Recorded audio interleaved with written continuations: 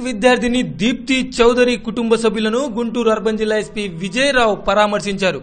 దీప్తి కుటుంబ సభ్యులకు ఎస్పీ ధైర్యం చెప్పారు. ఇరవై రోజుల క్రితం నుండి దీప్తి చౌదరి కనిపించకుండా పోయింది. తన కుమార్తె మిస్ అయి రోజులు గడుస్తున్నా పట్టించుకోవడం లేదని రాజకీయ ఒత్తిడులతో తన కుమార్తె జాడ కనుమరుగవుతుందని దీప్తి బంధువులు. మొన్న ముఖ్యమంత్రి చంద్రబాబు నిర్వహిస్తున్న శిక్షణా తరగతుల వద్ద బైఠాయించిన విషయం తెలిసిందే.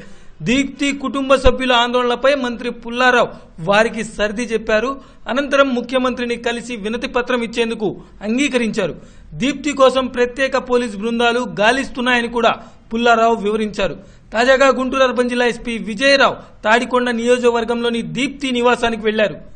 బాలిక కుటుంబ సభ్యులకు ధైర్యం ఇచ్చారు. సాంకేతిక పరంగా అన్వేషణ జరుగుతుందని ఖచ్చితంగా ఫలితం ఉంటుందని ఎస్పీ హామీ ఇచ్చారు.